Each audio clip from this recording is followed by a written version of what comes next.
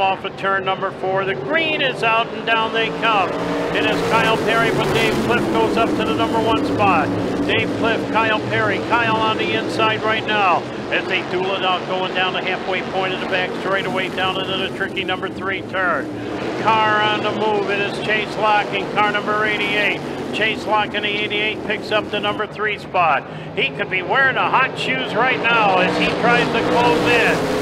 They chase coming down the front straightaway, and once again, Lock now on the outside. Lock going way up on the outside part of the speedway going down into turn number three. Lock pulls right up on the outside lane.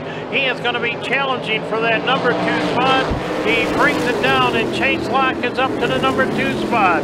Chase Lock in car number 88. We go down the halfway point of the back straightaway. It's going to be Kyle Perry up into the number one spot. Moving off at turn number four, down the front straightaway. Down they come. Chris Lock takes away that number one spot.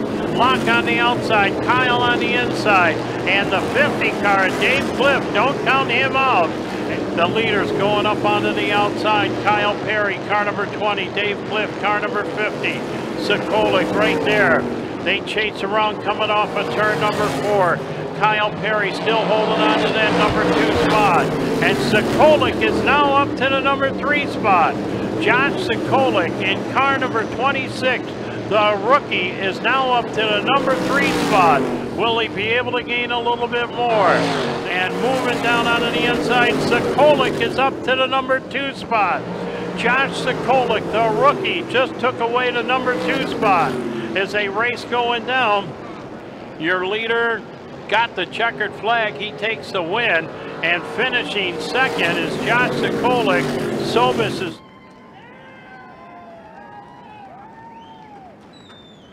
So we've got the race winner down here getting out of the car. He was told not to stand on the wing anymore. Chase Lock driving the number 88, his third feature win of the year.